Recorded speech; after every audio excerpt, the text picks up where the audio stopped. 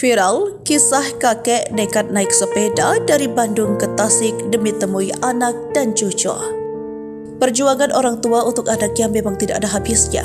Para orang tua rela mengorbankan apa saja agar sang anak bahagia dan bisa menemaninya. Bahkan ketika sang anak telah berkeluarga, perhatian orang tua tampaknya tidak pernah luntur.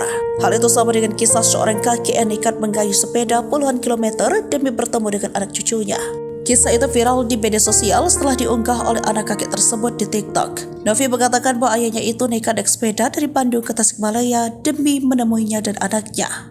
Kakek itu tampak duduk dan kelelahan sembari mengusap terus kakinya yang pegal setelah mengayuh puluhan kilometer. Terlihat juga sepeda yang dikayu tersebut. Sang kakek tampak mengaku kelelahan setelah perjalanan jauhnya itu.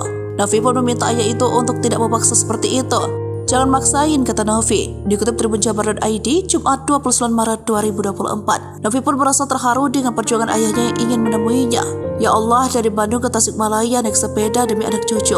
Allahu Akbar, sedih pak, plus bahagia. Ninggal bapak teh, sing panjang umur set terus amin. Tulis Novi. Novi pun tampak menjawab beberapa pertanyaan warganet.